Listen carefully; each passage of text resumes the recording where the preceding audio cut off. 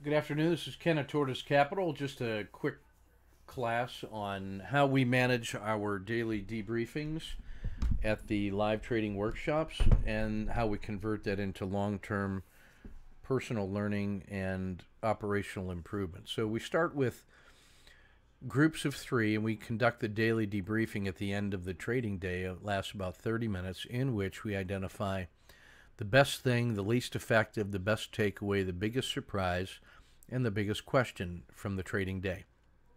The best thing is maybe the thing with the most potential. The least effective is something we know we want to work on. The best takeaway is something that we did that was of immediate and permanent use. The biggest surprise usually represents a shift in a worldview in which our assumption about how the world works was surprised into a different point of view. And so often that becomes the pathway to finding deeper sources of sense making that were automatic or were not consciously chosen. Then the biggest question is what we're going to work on. We then uh, go to large group debriefing and we gather insights from all of these sources and follow up with um, explanations or clarifications. And then for those questions, we go deeper and we provide additional explanations or follow up in writing or program some more lessons. Well, we use the Cornell note taking method to keep track of all new information and experiences. And in the first column, we put keywords. Second chunk, we put notes to self and explanations. And then in the bottom, we do a synthesis where we ask ourselves good critical thinking questions or follow up for actions.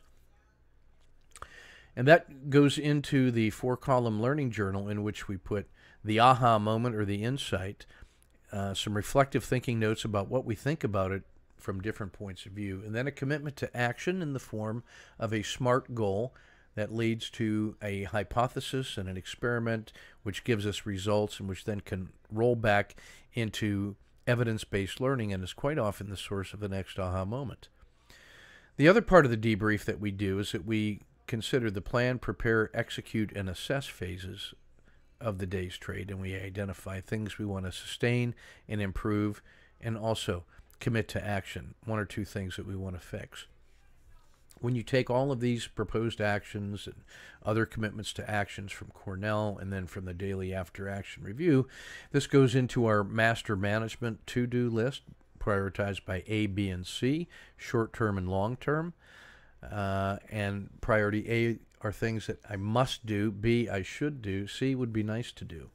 Then from that pick list come the I uh, the items that are in uh, the queue waiting to get worked on. Then we pick just a few things that are the combination of the most important and the most urgent, and we use that to minimize work in project uh, in process to just a couple things.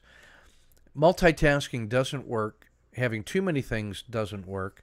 But having only one thing can sometimes lead to stalemate. So the brain likes to move back and forth between a couple things. So we're doing sequential cycling as long as the transaction uh, cost is not great, like two separate work workspaces, so you're not involved in setup and teardown.